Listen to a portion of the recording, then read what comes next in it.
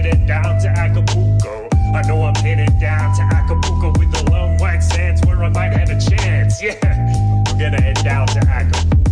Jayant Bhandari, welcome. Jim, go ahead and put that on. We good? Okay, uh, ladies and gentlemen, a question for you. How many of you were in my talk the day before yesterday? Okay, quite a few of you. So, um, I, in my last talk the day before yesterday, I talked about the West. And I talked about where the West is going and why, in my view, the West will continue to decay and degenerate for a very long time, and this takes an enormous amount of time. Thank you. I said in that speech that the reason the decay has started is because the forces of irrationality has taken over the governance of the West. And the symptom of that is in the negative yielding economic structure that you now have in the West. In my view, the negative yielding economies of the West will stay there. The Western economies will stagnate because culturally and intellectually, the West has stagnated. Now, today I'm going to talk about the rest. And what I mean by the rest is virtually everything outside the Western civilization. The Western civilization here is uh, North Europe, North America, perhaps Australia and New Zealand. Now, the context I'm going to talk, use to talk about this is the concept of negative yields and India's love for gold. I have only 20 minutes. I can't talk about the whole of the rest, but I'm going to talk about India quite a bit here. There's a question here I, I have been asking myself. I work in the gold industry, um, and I've never been a gold bug. Um, I actually dislike the concept of gold, and I hope uh, we, did, we had a better way to save our money. But the question that comes to my mind oft, often is, why do people buy gold? And different kind of explanations are given to you why people buy so much gold in certain countries. In Saudi Arabia, in Yemen, in Bahrain, in Pakistan, in India, in Bangladesh, Myanmar, Thailand, Sri Lanka, they buy an enormous amount of gold. Why? Is it inflation? Is it deflation? Is it traditions or love for gold? In my view, all these reasons play a part behind why they buy gold. But the real reason why they buy gold is because their economies are negative yielding economies. Now, I work in the financial industry, and a lot of my friends uh, did not even know the concept of negative yields. This concept has existed forever in the Middle East and in, Asia, in Southeast Asia. Let me just, for those who don't understand the concept, let me just define this in my words. A negative yielding economy is one in which your savings, your investments, instead of growing up in size, actually reduce in size. The motivation of an investor or a person with economics financial surplus is no longer in such an economy to grow his capital. His motivation is to protect as much of his capital as he can. I just wanted to define this thing before I uh, went ahead. But I'm going to break my talk in these three or four subsections. I want to define what I see as the state, what is happening in the rest. As I said, it, and that does not make makes me an expert, but I just wanted to let you know I travel about eight to 10 months a year. I go around the world several times a year. I have lived in many countries and I have been to over 70 countries. Um, and of course, that doesn't make me an expert. Now, why do I so simplistically, seemingly so simplistically, put all these bunch of countries in the West? Why should I differentiate them so much from the West? There's something, ladies and gentlemen, that happened in the West about 2,500 years back, which distinguished humanity from the animal kingdom. The Greco Roman philosophers found a concept, they invented a concept called the reason. The reason, the concept of reason using the vehicle of Christianity. It took a long time for reason to get infused into the culture and the psyche of the Western civilization. It took it perhaps 1,500 years to start becoming visible in the Western society. And that ha started happening about a millennia back. You had Renaissance, you had the Age of Reason, you had the Industrial Revolution, you had the Scientific Revolution, and then you had the Age of Enlightenment. What you see in the West, the economic and intellectual progress of the, of the West, is based at the very roots is based on the concept of reason. Now, the rest, which I said is pretty much everything outside the West, has been interacting with the West for the last 200 to 500 years now, and there has been an enormous amount of interaction because of internet and telephony over the last three decades. But unfortunately, I have a sad thing to tell you. The concept of reason continues to be a predominantly a Western phenomenon. If you travel in the West, you realize that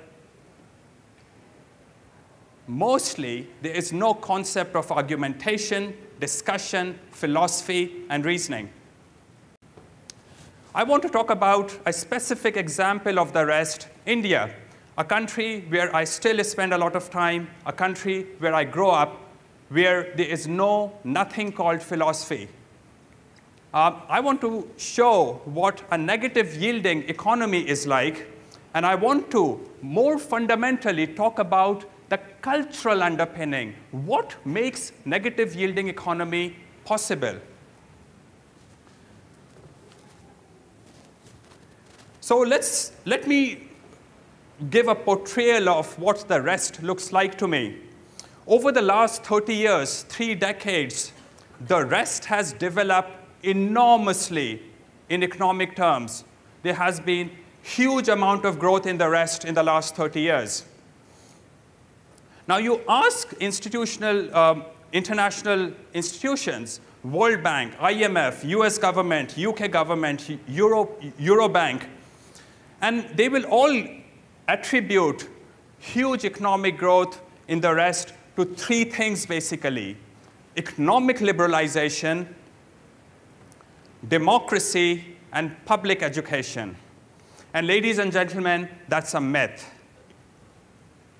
Economic liberalization, yes, some of these countries gave up some of their oppressive regulations, but then they enforced 10 times more oppressive regulations elsewhere. Democracy, I won't dwell on it much, but, um, and I talked about a lot about it the day before yesterday, but democracy has been a disaster for the rest. It has politicized the, the, the rest, and it has corrupted the mentality of the masses in the rest because they see democracy as a magic wand that gets them something for nothing. And that's the problem you see on the streets in the Middle East today and a lot of other places in the rest. Uh, public education. Now, what happens with public education when you don't have the concept of reason and critical thinking? You accept public education, you go to schools and universities and accept what is taught, so-called taught there, as another set of superstitious beliefs. That's all public education is in most of the rest. So in, in summary, the rest failed to become rational despite the huge amount of interactions with the West. and has actually been burdened by more beliefs because of public education and democracy. But my guess is, and I hope I'm wrong here, that they have been disincentivized from learning the concept of reason because they have become rich without developing the concept of reason. But I hope I eventually get proven wrong. But anyway, I have only 10 minutes left, so I'm going to hurry up. Let's look at Indian economy. And I'm talking, going to talk about four parts of the Indian economy very quickly to show you what a negative yielding economy is about. What happens to a, an Indian who exists with a surplus? What does he do with his excess money? Let's look at the Indian property market. The rental yield per year from investing in Indian property is about 2%. And that is before you amount, account for taxes, etc., etc. Um, and a huge risk you run in terms of losing your property to your tenants. Now, remember, I said 2%. The inflation rate in that country is more than 8% typically. So, whatever way you do your math, it's a, you lose your money going forward investing in property in that country. Let's look at the stock market. The earnings yield, which is the money that you earn on the current share price of in the stock market, your earnings yield is about 5%. But ladies and gentlemen, remind yourself the inflation is 8%. It's a waste of money investing in the stock market there. But it gets much worse because dividend yield in that country is less than 1%. Um, but let's talk about the cattle market. And you might be wondering, why cattle? Because 60 to 70% of Indians still work in the agricultural sector. Cattle market gives me numbers to show, uh, talk about the economy in the rural sector. There are 280 million cattle in that country. It's a very liquid market. Look at these numbers. When you invest in cattle, you lose money. So, ladies and gentlemen, now you are an Indian sitting in India. What do you do? You buy gold. In my view, that should never have existed. it's a barbarous relic. You should never had to. You should never have had to invest in gold, but we have to invest in gold rather than in manufacturing and infrastructure. So the, this is the number 68% of Indian savings, household savings, 68% goes into empty properties and gold, which sits and does nothing. Actually, it does nothing. Keynesians, I think, are right in that way. Gold does nothing for you. Look at these women. What are they doing? When, men and women, sorry. Um, and any rational person should be questioning why should I be buying gold and empty property, not buying tractors or put, set up manufacturing plants, or why not set up infrastructure in that country where there's virtually no infrastructure? Okay, so let me get to the underpinnings here. I have already defined that it's a very uncompetitive economy. Um, it's a negative yielding economy. Why should I be investing in manufacturing and infrastructure in that country? It's very hard to protect your savings in that country. And I have yet to meet a public servant in India who does not manipulate me, trouble me to get bribes. I have not yet met a single public servant in that wretched country who does not ask for bribes. Okay, so this is all good for anarchists and libertarians. They are happy listening up to here. But there's worse here, ladies and gentlemen, because corruption in the government is only the tip of the iceberg. The poison that creates the government comes from the society, comes from your culture. It's an extremely corrupt country culturally. So in a cocktail party, for example, I might meet someone who would come and brag about the fact that he stole someone's property and got away with it. And for him, it's a matter of pride. Now, why would this such a thing happen in that society? Because, ladies and gentlemen, there is no concept of reason. If you don't have con- concept of reason, you don't have concept of compassion, respect for the individual. None of the Ten Commandments exist in a society that does not have reason. Right and wrong has no, you can't differentiate when you don't have the concept of reason in the society. The people in such a society exist in superstitions and irrationality. Now, you might think that you can, World Bank and IMF can throw billions and billions of dollars to so called educate them. And they have done this in Afghanistan. It doesn't work because everything sits without the foundations of reason and critical thinking. Without that, nothing gets absorbed.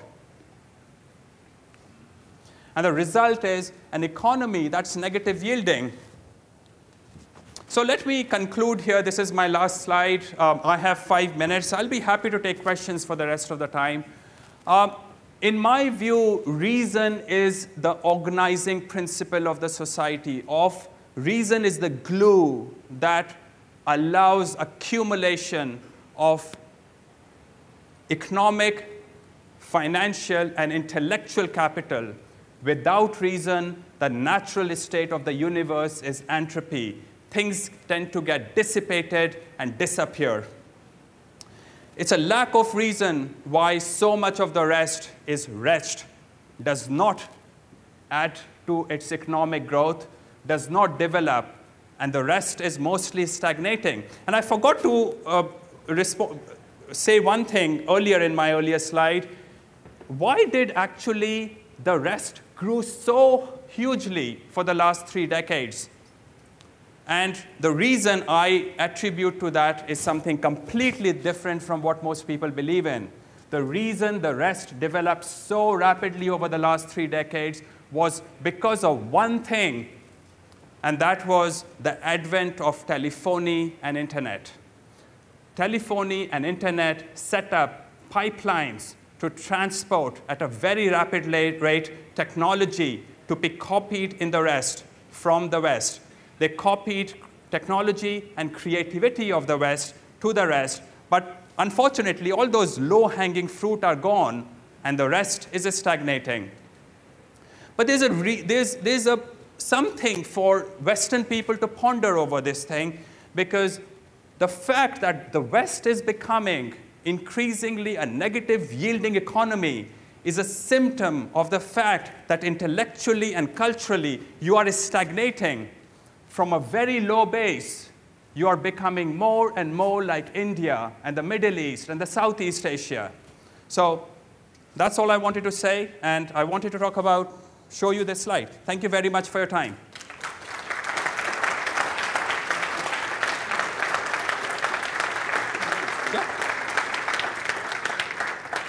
if, if there are questions, I'll be happy to address them. Okay, we have two minutes. If you have some questions.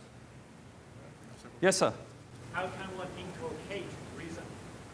Uh, I have no, uh, no I, I haven't a clue. I have, um, so I, in my, I'm 48 years old, and I have been able to change minds of uh, tens of people in North Europe and Western people. Uh, but I, my success with Indians is exactly zero. Uh, I don't know how to inculcate reason in a society. It's an extremely, extremely hard job. It took the West about two millennia to infuse the concept of reason in the Western society. And a lot of Western people think they take reason for granted. They think it's a simple thing. It's not a simple thing. It takes generations, generations, and centuries. So I think that's what it will take probably. Yes, sir. Yes, uh, I had a follow-up question to what he was saying. Um, on the West, what role does the postmodern school of absurdism play into the irrational uh, symptoms in the West? Can you, uh, can you attribute any to that? Repeat the question. Sorry, can you repeat the question? sorry? Sure. Um, if you I don't know if you're aware of the political, uh, the social political movement of absurdism. okay. Yes. Okay irrationality? Sure. Yeah. I mean, I, I talked about this. The, so the question is how how this uh, the movement of absurdity in the West is destroying the West, and I talked about it the day before yesterday. the forces of irrationality have taken over institutional control of the Western institutions. And that's your biggest problem. And this will not end until democracy has ended, because democracy is an institution of the masses. Masses decide who runs your major institutions, and masses cannot think about tomorrow. They think about their animal instincts. They are driven by their animal instincts. They are not driven by planning for tomorrow. And those people who cannot plan for tomorrow should not have the right to vote, should not be deciding on how governance is run in any society. Thank you. Thank you very Thank you very much. I wanna dance by water beneath the Mexican sky. Drink some margaritas by swing of blue lights.